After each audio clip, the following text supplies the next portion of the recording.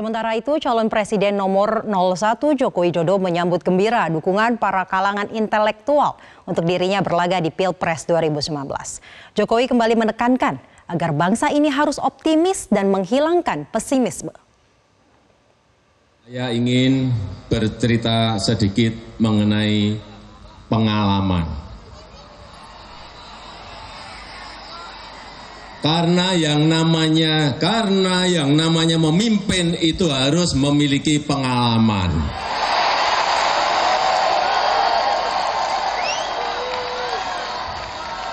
Saya ingat, saya ingat di 2005 saat saya masuk dalam kancah pilkada menjadi wali kota. Sebelumnya saya adalah di dunia usaha. Kemudian saat itu ada empat kandidat. Saya ikut. Yang tiga ini terkenal, orangnya terkenal semua ini. Incumbent, ketua kadin, dan pengusaha besar yang ada di Solo terkenal. Saya nggak ada orang di Solo yang saat itu tahu, nggak ada. Tetapi, tetapi, ternyata masyarakat memberikan amanah kepada saya. Meskipun menangnya sedikit tipis, tapi yang penting menang. Ya, kemudian saya masuk dari dunia bisnis masuk ke dunia pemerintahan. Apa yang saya alami saat itu? Saya banyak terkaget-kaget, saya harus banyak belajar, dan saya di awal-awal itu betul-betul pusing karena memang belum memiliki pengalaman memerintah di pemerintahan. Itu yang saya sampaikan di awal lagi, diperlukan pengalaman dalam memerintah. Apalagi sebuah negara yang besar seperti Indonesia ini. Jangan coba-coba dong. Hampir hampir satu setengah tahun prosesnya adalah saya belajar belajar belajar belajar belajar. Pagi siang malam pagi siang malam. Saya belajar karena memang berbeda sekali kita dalam mengelola institusi bisnis dengan mengelola sebuah pemerintahan meskipun dalam lingkup kecil sebuah kota. Tetapi pengalaman itu sangat Penting sekali bagi saya menapaki jenjang-jenjang yang lebih atas. Begitu masuk ke satu setengah tahun, dua tahun, saya baru bisa melakukan yaitu kerja secara cepat karena yang namanya manajemen birokrasi, manajemen pemerintah itu berbeda sekali dengan manajemen di luar pemerintah, sangat beda sekali. Alhamdulillah saya diberikan pengalaman itu. Masuk ke periode yang pertama saat itu kemudian meningkat ke periode yang kedua. Periode yang kedua saat itu ini juga cerita sedikit saja. Saya tanpa saat itu tanpa kampanye, tanpa keluar uang, saya bisa masuk lagi ke periode kedua dan mendapatkan 91 persen. Saya lupa tadi, yang periode pertama hanya 37 persen. Menang tipis, tapi menang. Periode kedua, kemudian 91 persen, kemudian dengan pengalaman itu masuk ke jenjang yang lebih tinggi yaitu di Gubernur DKI.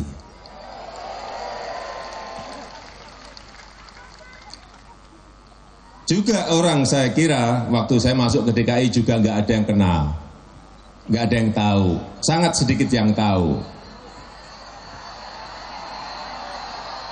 Oh ada yang tahu. Ya. Perasaan saya, perasaan saya. Waktu saya masuk ke kampung-kampung di Jakarta, nggak ada yang negor saat itu. Jadi saya merasa nggak ada yang tahu. Tetapi juga Alhamdulillah saat itu juga atas kehendak Tuhan, atas kehendak Allah dan juga karena keinginan masyarakat di DKI yang memberikan amanah kepada saya, saya masuk ke lingkup yang lebih menengah yaitu mengelola sebuah provinsi. Dari mengelola yang kecil sebuah kota kemudian mengelola sebuah provinsi di Jakarta yang problemnya juga begitu sangat besarnya, terutama yang berkaitan dengan banjir dan yang berkaitan dengan kemacetan. Kemudian masuk lagi ke level yang lebih tinggi yaitu mengelola negara. Karena saya memiliki basic pengalaman di kota, basic pengalaman mengelola provinsi, waktu masuk ke lingkup pengelolaan negara, manajemen negara, ya saya biasa-biasa saja karena sudah memiliki pengalaman itu. Itulah, itulah yang dinamakan begitu sangat pentingnya pengalaman dalam berpemerintahan. di sebuah kota saja saya memerlukan satu setengah tahun sampai dua tahun untuk belajar. Apalagi belum punya pengalaman langsung mengelola negara. Butuh waktu berapa tahun pertanyaan saya. Isu-isu. Presiden Jokowi itu isu-isunya yang banyak di bawah. Mungkin di sini tidak, tapi di bawah diisukan seperti itu. Presiden Jokowi itu anti asing anti asing. Anti asing. Saya ingin sore hari yang berbahagia ini saya ingin menyampaikan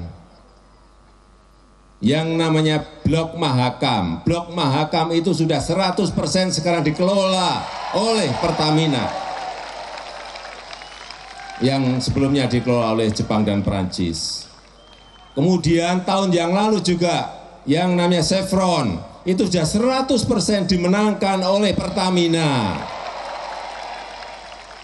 Kemudian Desember 2018 yang lalu juga Freeport telah 51 persen mayoritas kita kuasai. Pertanyaan saya, ante asingnya ada di mana?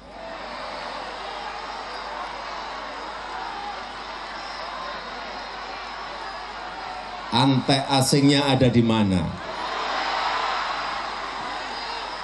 Di sana. Di sana tuh di mana?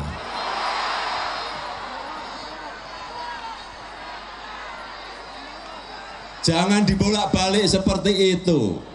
Dipikir me, dipikir merebut 51 persen saham Freeport selama 4 tahun kita negosiasi itu mudah. Sangat sulit sekali, sangat sulit sekali.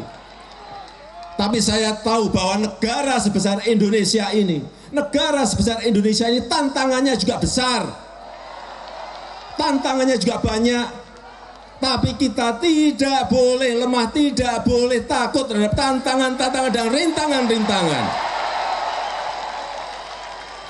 Kita harus optimis.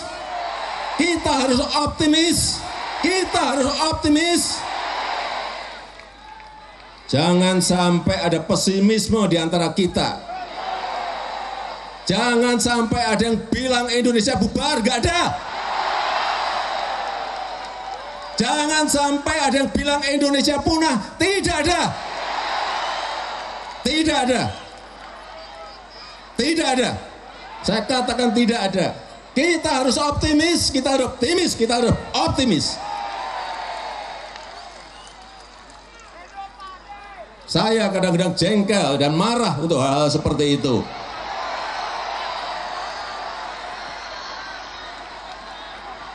Bagaimana negara sebesar Indonesia ini kita tidak bangun optimisme, kita tidak bangun optimisme, kita bangun optimisme.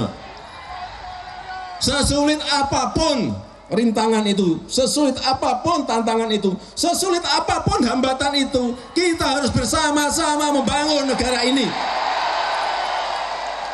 ingin bercerita sedikit mengenai pengalaman. Karena yang namanya karena yang namanya memimpin itu harus memiliki pengalaman.